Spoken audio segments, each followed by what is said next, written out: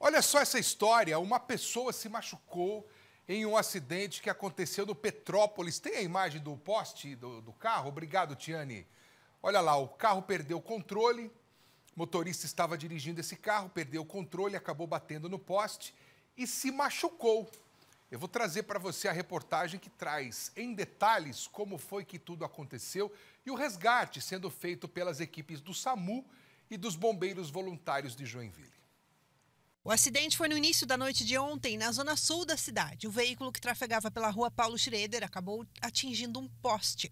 O impacto da batida foi tamanho que o poste chegou a rachar e o carro ficou bastante danificado.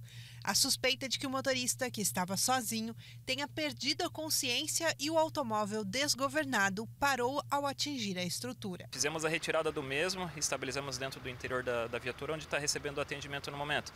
É, segundo informações aí é, que chegaram para nós de familiar, pode ter acabado perdendo a consciência aí devido já a um histórico de saúde e na consequência vindo a colidir no, no poste. A rua ficou em meia pista durante o atendimento das equipes de SAMU e bombeiros. Ali na imagem dá para ver que o poste até rachou. Por pouco esse poste não caiu em cima do carro e aí a afetação seria ainda maior. Pessoa recebeu o atendimento, se machucou, mas está tudo bem. É claro, é uma batida de frente com o poste. Você imagina o impacto que isso causa no, no corpo da pessoa que está dentro do carro. E você vê que pelo amassado não foi tão forte, né? Foi uma batida de grande impacto, mas não como a gente costuma ver, que o poste cai, que o carro fica totalmente destruído.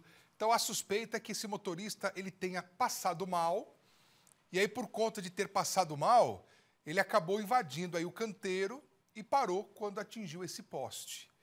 Foi socorrido, foi levado ao hospital, tá tudo bem com ele. A gente fica preocupado, né?